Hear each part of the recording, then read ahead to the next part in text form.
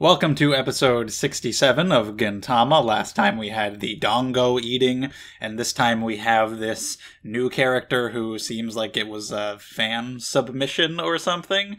So uh, let's get into it. We're going to watch and discuss. I've got the subtitles and timer on the screen if you want to follow along, or you can pull up the episode on your own. Um, I looked at the Crunchyroll version of this episode, and they don't have the OP on there for some reason. The version that I'm watching has the OP at the start, so that's where we're starting at the very beginning with the start of the OP. So, so let's get into it in three, two, one, play. All right, so yeah, they ate a bunch of dango, and like I said, it, just from what it seems from the little preview at the end of last time, that um, We've got this character who was like a an Amanto created by a fan who sent a submission in for some contest. So we'll see what that's like. But while the OP is playing, let me say that if you enjoy these videos, subscribe to the channel. We got new Gintama episodes Tuesdays and Thursdays with other videos every day of the week. Check out the description down below. You got Twitter and Discord if you want to hang out there. And Patreon if you want to support the channel, get these videos early get polls and vlogs and all that stuff. Thank you. So yeah, we'll see what this new character is like. I am recording this um, the same day as I recorded the previous episode, so I haven't put that episode up yet and heard anybody's response to what I said before about how it seems like this is a fan submission character. I'm assuming that is the case. That is what it seems like.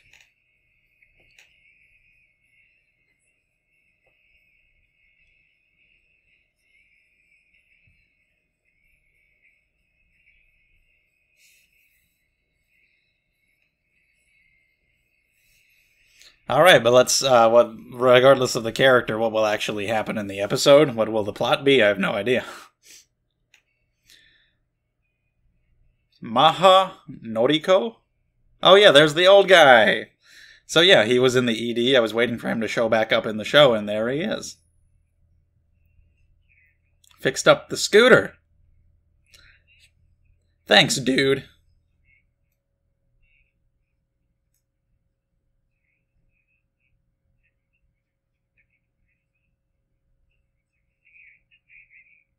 That's fair. Gengai.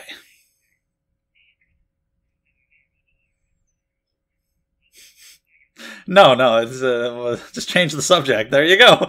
If something happens again, I'll rely on you. And then he just leaves. That's actually badass. He just has a fucking button to where if he if he doesn't pay, he can just sabotage him. That's totally fair. Whoa, and there she is riding a scooter herself, and it's completely destroyed. As is hers.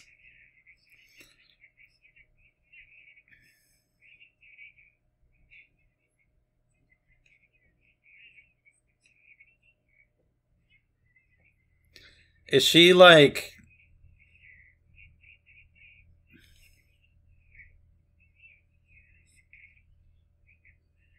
Oh my god oh. If she doesn't have a bike, she'll die. Is that like a her species just has to be constantly feeling the wind on a bike or she'll die? Or is she just insane? She looks like Haruko maybe from Fooly Cooly. Also is dressed like maybe like the bride from Kill Bill or something. I don't know. That's what I'm seeing here. That's a little bizarre. Okay, the fabulous wind spirits. You have to feel the wind. I mean, what if there's. Uh, okay. Uh, do you sleep? Yeah, like a shark. Yeah, I mean, I guess if you just get on a vehicle that can go at all times, regardless of your. I, I don't know. This is interesting. Uh, this is bizarre. She just has to be feeling the wind or die. Like, what? The chant.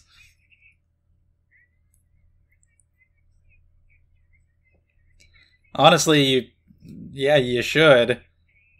Then you don't have to carry her anymore and she can be on her way. Take this one. What is her job, though? I guess we're gonna find out because he's gonna hang out with her. I guess for this episode. It's interesting for an Amanto design, like by a fan, that her design is so basic. She just looks like a person. But I guess it won because of the idea, because the idea is funny. Because she's a, hot, a cute girl too, so there you go, extra bonus. And she wants to be a mail carrier. What an ambitious goal! Ah, God, she just dies if, if she stops. And doesn't want to run herself because it's a pain.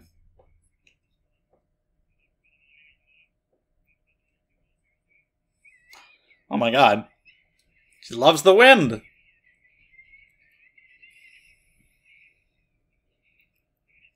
For a wind spirit, she's she sure is uh, careless and uh, kind of shitty at her job, maybe. Oh god, it's a red light! We have to stop! She's just dying! She's bleeding out! What a what a ridiculous idea. I like it a lot. Just she has to she can't stop. She's just gotta be on the move. I actually this is interesting because recently I was inspired uh, by uh, with an idea similar-ish to this.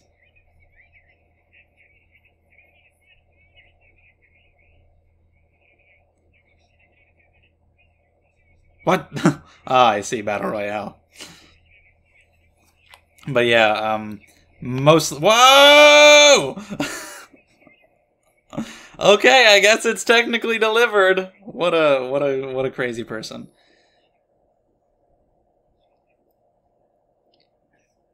Jump toys. Maybe I'll talk about the idea that I had in the discussion. It was like a horror movie though that I had an idea for. oh my god, my toys! What a horrible ass mailman. Absolutely despicable.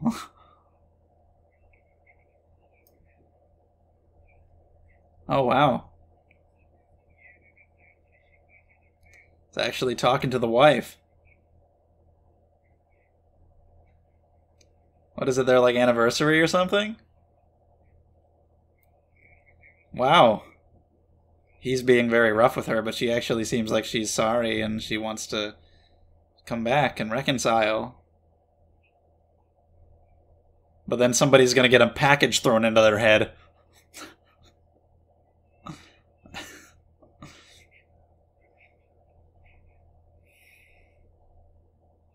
Did he send a gift? But it got. No! You just.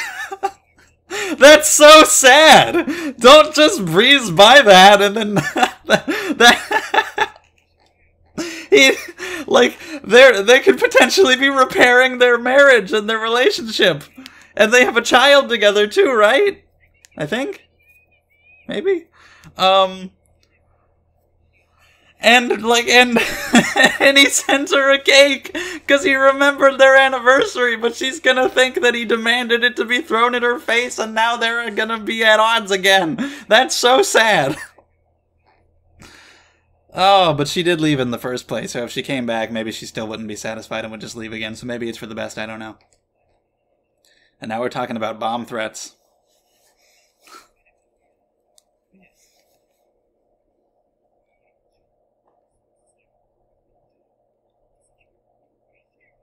Oh, nice. It is it is making some ticking.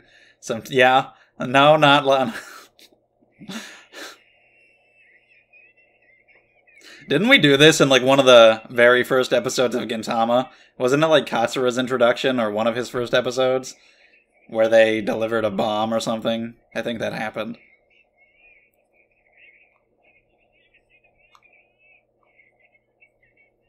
Yes. No. No! Become the wind. Run with the wind.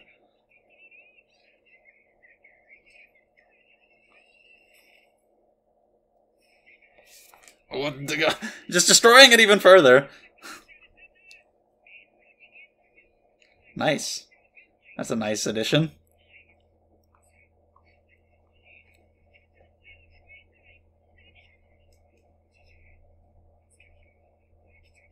Nah, it's not as important.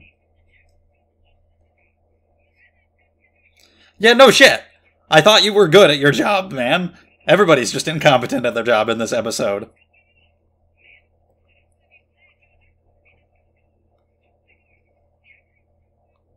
Yeah, it's pretty big. It's pretty standout. Mecha, mecha mode. Holy shit!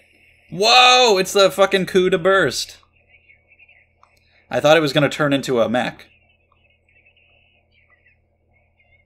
But yeah, that's some good wind. Good for you. This is a fun episode. It's like Speed, the movie. You just gotta keep moving. You gotta keep moving or you'll die. it's Gintama's version of Speed. When I think of it like that, that's hilarious.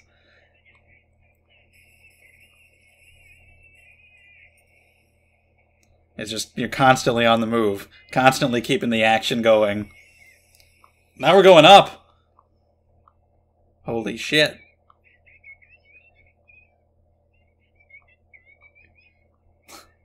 Yeah, like that's some uh, some cool additions that he gave your bike. Just toss it. And then it's just gonna explode and like ruin the moment. Um, I don't know if you will. Well, maybe it should have. I don't know about that. I don't know.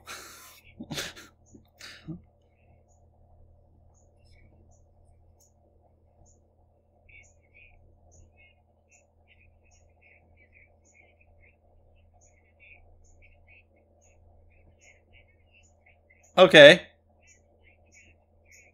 And we're gonna come crashing down. It'll explode! We don't even have to worry about the bomb. The bike's gonna explode. Why would you make it so that it explodes? and there they go. What a bizarre thing that happened here today.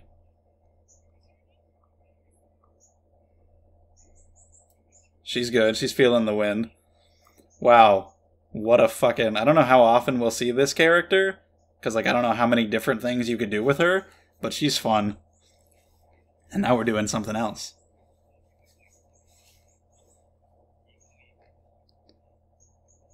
I could have gone for an entire episode about that. That was fun. But okay. It was probably just one chapter of the manga, so just pretty quick.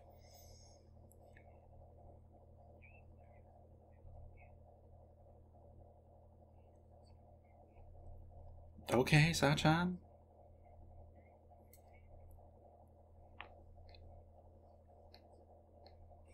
Well, shit, the ideal girlfriend has to be Minami-chan. I see. From Touch. Never read it. Oh, yes, absolutely. I want to tie him up. And do so many things.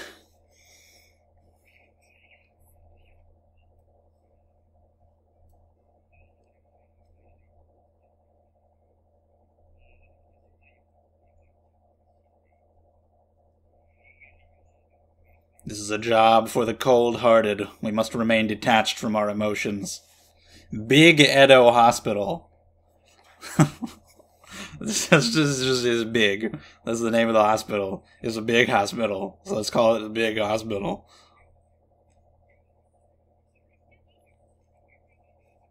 Yeah, she's distracted. Although if she wasn't distracted by Ginsan, she'd probably be distracted by uh, not being able to see, which happens all the time. Okay, do everything to the death. Go, uh, go far in everything that you do. Go hard. Why? Just a distraction. There you go. Easily distracted by anything. Ah! So this is directly after the last arc. Then he uh, is in the hospital with Blackjack from his explosion. So uh, that's cool. We are continuing that a little bit from one crazy girl's care into another. One girl who needs to be one with the wind, and one who needs to fucking do this shit. Poor man can't catch a damn break. So once again, we're just continuing with the theme of everybody being bad at their jobs, and also Gintoki being an unlucky man.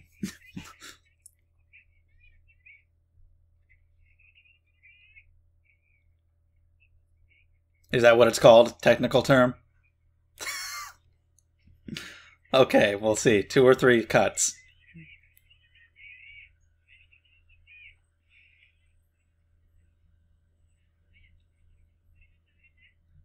Oh god, Hattori. Ah! The ass! No! His fucking hemorrhoids! Oh god.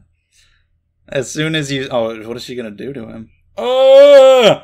As soon as you see an ass, you just know it's him, so. He lost his toys, and now he got his giant syringe up his ass. This episode is just unfortunate for everybody. And poor Hasegawa. that was so fucked.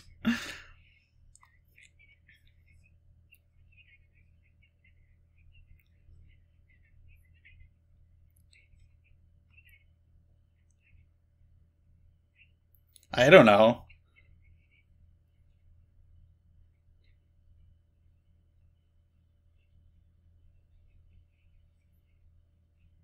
Okay, so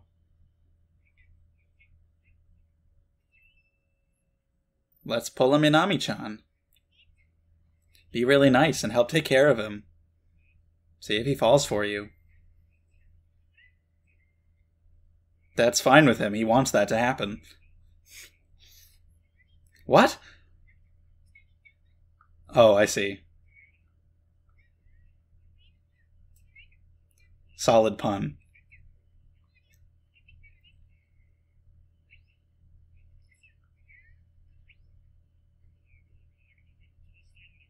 Don't, don't punch her. Although, if you're bothering a, the hospital patient this much, I don't know. Maybe it's okay to get a little forceful. Why would you do that?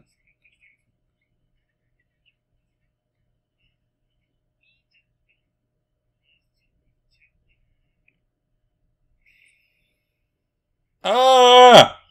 This man and his butt.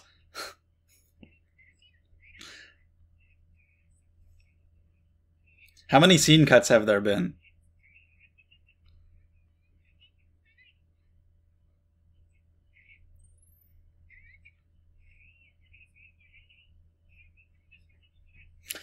Pretty good.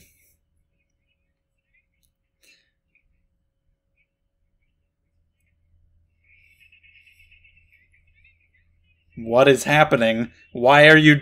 No, if you have to punch, then punch at this point. Get this person out of the hospital. This is bad. Oh! Oh, at least you didn't put the other end in first.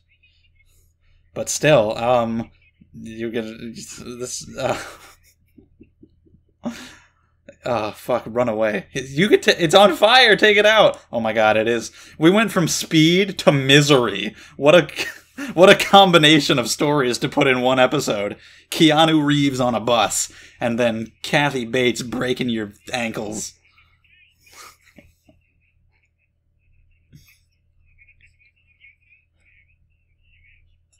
Ugh. This episode is insane. I, this is like one of my favorite episodes, probably. this is so stupid. I love it. she got so upset.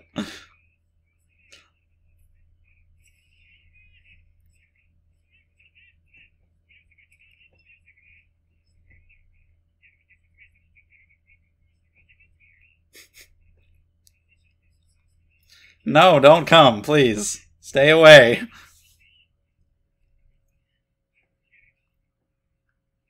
Hello?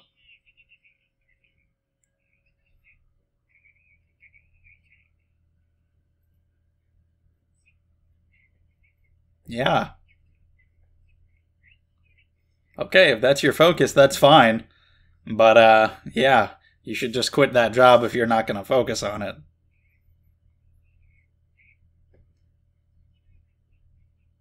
Oh shit. Are we gonna get back on the job?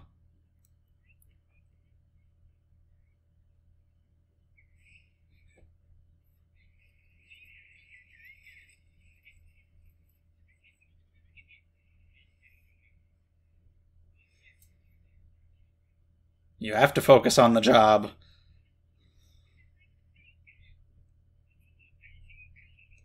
He was a little creepy when he showed up, so makes sense.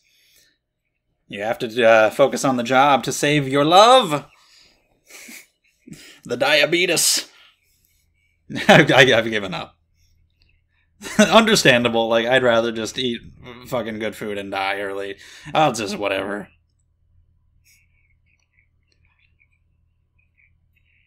Not the balls.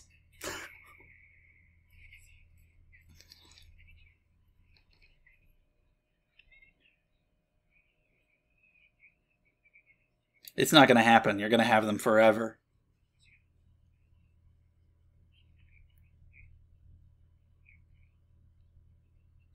Why is everything exploding in this episode? There's a bomb, there's the bike, his balls, something, just in general, just his ass, I guess, as a whole. And I told you this would happen about the fucking the glasses.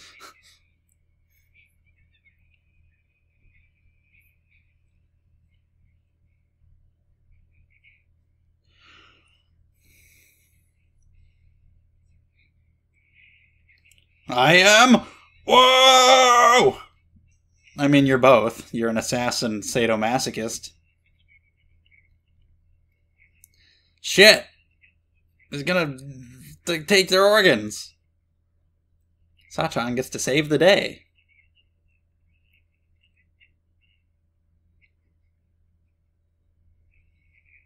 Nice disguise. Whoa! Shit, just straight up stabbed the man.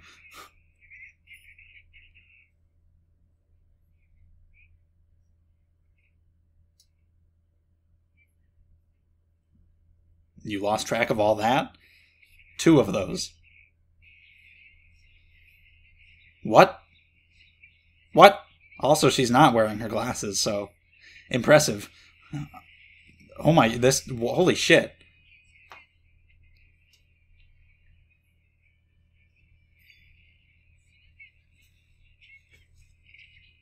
Okay, good work that she doesn't know where the hell he is. But that was she did that without her glasses too. Oh, it's Hattori. You can see the hair, and his ass is gonna be right there. Kiss him. Kiss him on the ass.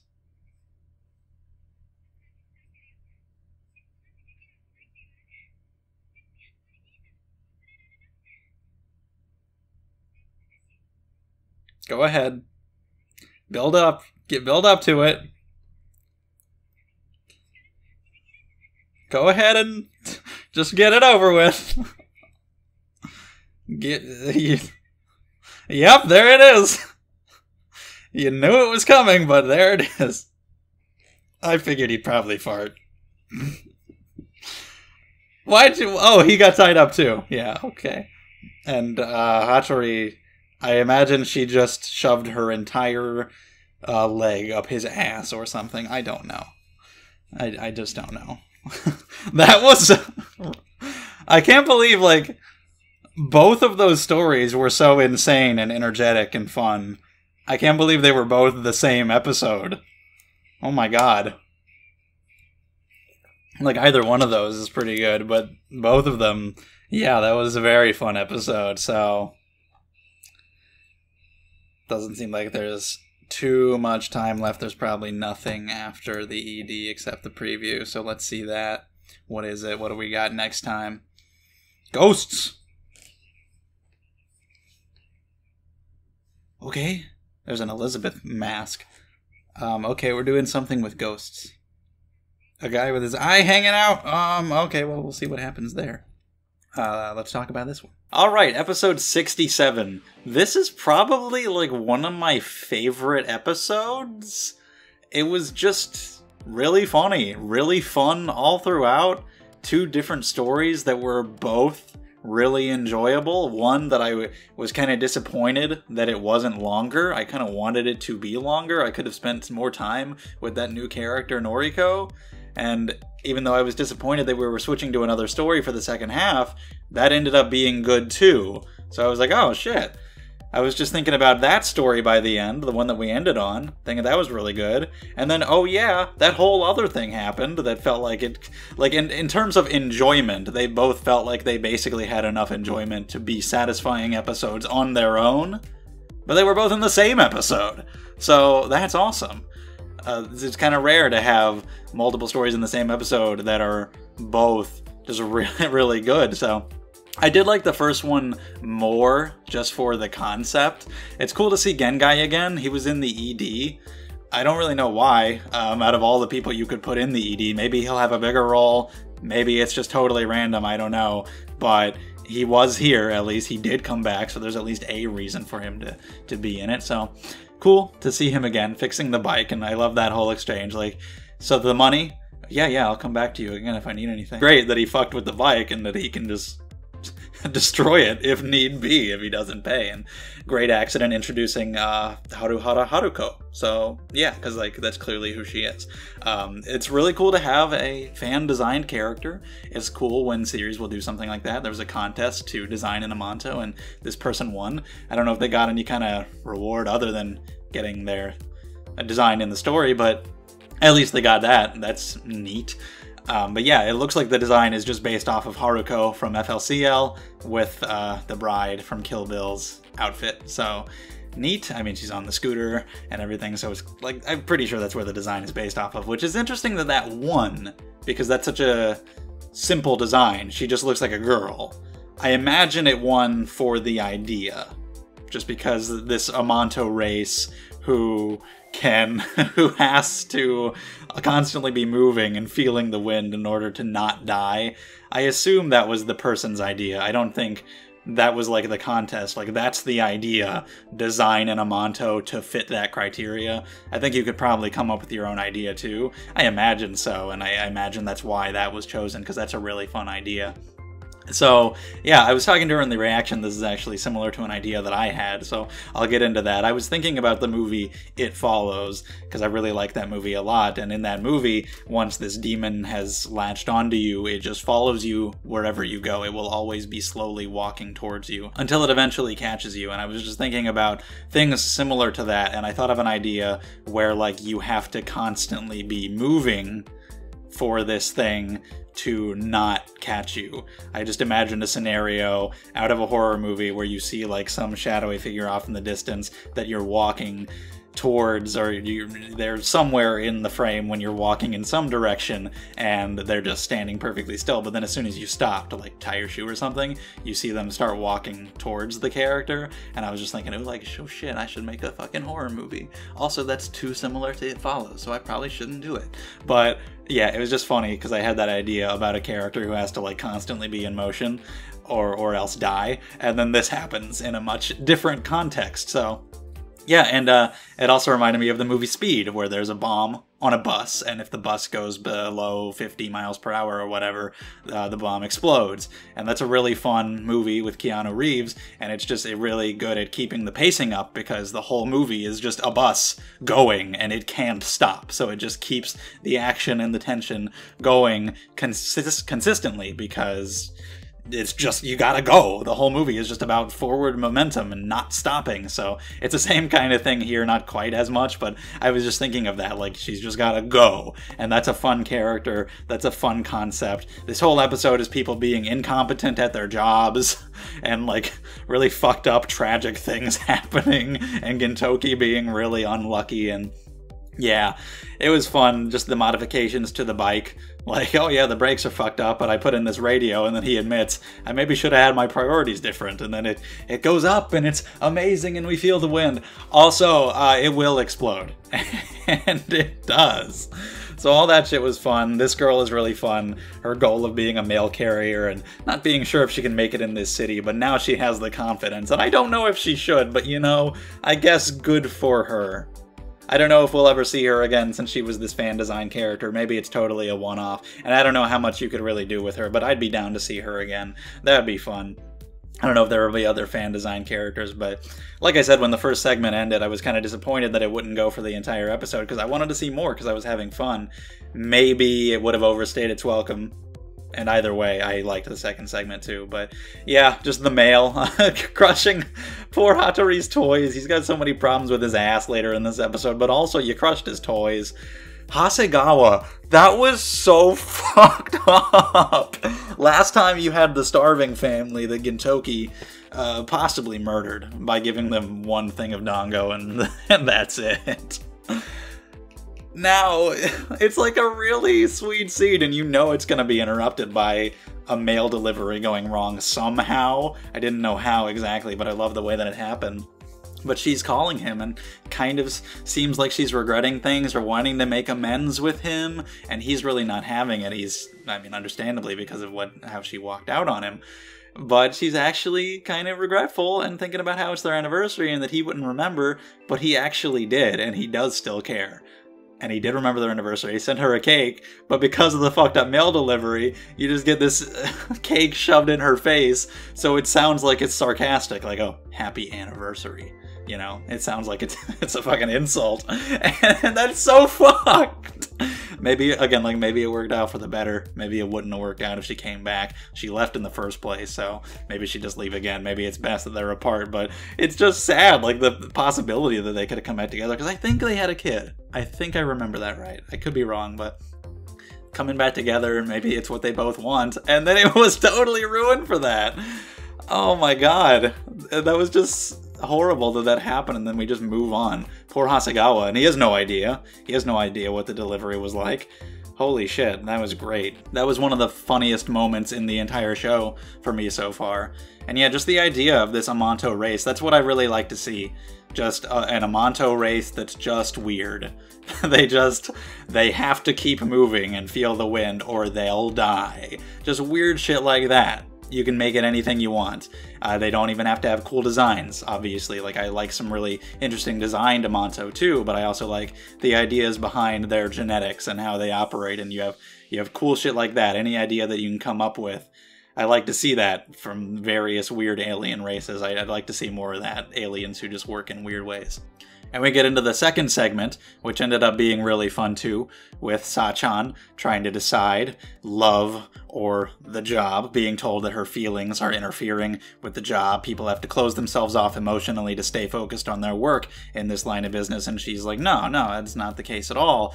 And trying to decide what to do, what she should focus on, and just deciding, like, oh, you know, maybe my love for Gintoki, that's that's all I need. I can just focus on love. And then by the end, deciding that she needed to focus on her job in order to save him. And you know, it's it's all about finding that balance. Whichever you decide, it's it's your decision. Either one is fine. Whichever one you think is is right for you. If your job is what makes you feel satisfied, if giving that up for love is what makes you feel satisfied, then do whatever you feel is is right for you. If you want to try to find a balance between the two, then that's great. Best of both worlds. Just figure it out. You don't have to completely sacrifice one thing for the other, but you know, think it through. Be a little rational about it. I don't know if she's entirely capable of that. Half the time she can't even see what's going on. She's just losing her shit all the time. And yeah, I mean, it was pretty basic in terms of the jokes, really. Because, like, the first one was interesting because you had this new character and this new idea about her having to be on the move all the time. And this one, a lot of it is Sachan loves Gintoki. Sachan is a sadomasochist. Hattori has a fucked up rear but it was still funny regardless. The poor fucking man, as soon as you see like somebody they're sticking out their butt, it's like, oh, he's here. It's really cool that it was continuing the story of Gintoki and the explosion that he's injured in the hospital with the blackjack guy, and oh, his hair will be back in two to three scene cuts, and seeing Hattori again after his toys were destroyed, and now he's just having a horrible day too, getting worse and worse shit shoved right up his ass. And it's like, goddamn, it's it's horrible and brutal and funny, and uh, just like before where you know the Hasegawa punchline is coming. Here, the punchline at the end was really obvious, like down to the very last detail. Like, okay, it's Hattori, it's his ass, she's gonna be hugging his ass, he's probably gonna fart in her face.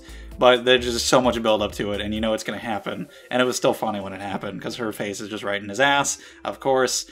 She probably, I don't know what she shoved up there, everything probably, and yeah, and the fact that she came in there and was fucking totally badass, even without her glasses, and really efficient, and destroyed these fucking guys.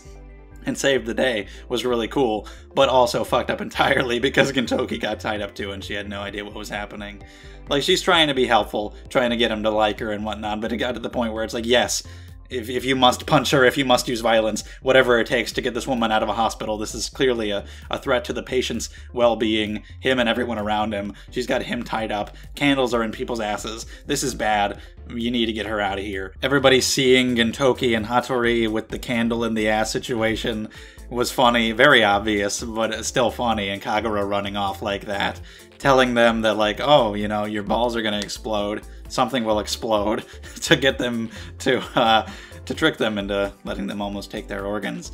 And uh, Sachan looked good in the nurse's outfit. You know, if you do want to change your line of work at some point, prioritize different things.